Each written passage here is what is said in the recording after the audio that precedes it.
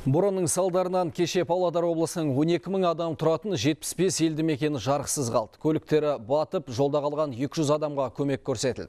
Құтқару қызмет тарапынан құрылған 21 жедел бекет әлі жұмыс істеп тұр. Себебі аудандар мен облыс орталығын байланыстыратын жолдар түгел ашылған жоқ. Қатты жел 13 әлеуметтік нысанның шатырын ұшырып әкетті. Ең қиыны электр сымдарының үзілуі. Қазір 30-ға тарта елді мекенде электр желілері қалпына келтіріліп, жарық берілді. Қырықтан аса олға энергетиктер енді жетті. Павлодарской области и городе Павлодар облысы мен қалада кешегі қатты желден үзіліп қалған электр желілерінің көп бөлігі қалпына келтірілді. Аудандарда бізге қарасты мекемелер үздіксіз жұмыс істеп жатыр. Қаладан қосымша көмек күші жіберілді. Барлығы 47 топ жұмыс істеп жатыр.